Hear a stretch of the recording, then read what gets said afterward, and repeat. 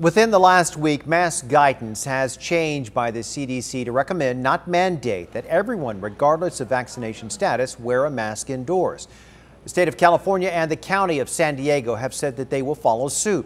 Our Sofia Hernandez spoke to local businesses about navigating so many changes to meet each new guideline. For San Diego mom and pops, they say it's been a whirlwind keeping up with every mask guidance from the federal, state, and local level. Now, one local business says it has been a challenge, but one with unexpected reward.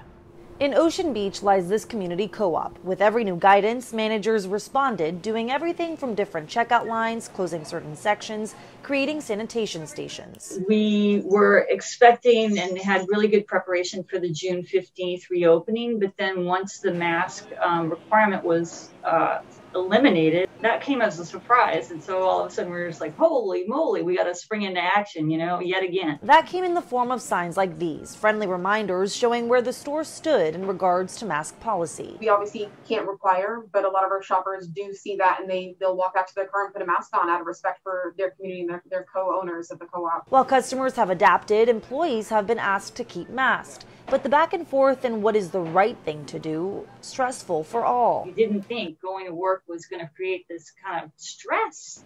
And that going to your local grocer wasn't going to be fun. It's like, no, it's going to be stressful. I have to strategize. I have to make sure that I can get in and get out. As of this week, masks went from only being worn by the unvaccinated to recommended for all. The limbo of masks being on or off is what Bonilla says made them closer to their clientele. They will call and ask us when they don't even plan on coming shopping. They just want to know in case they feel comfortable leaving the house. Um, and when they show up to the store, they're not only asking us what we prefer, but they'll be looking around and see what the rest of their community is doing and, and following that example. I think we knew we were doing something pretty important, but uh, we really have been um, just, I think, remarked at how essential service, how validated we were. A positive plus as rules continue to alter in order to help combat COVID 19. Now, this business says that it will continue to make the tweaks necessary to keep health and safety the priority.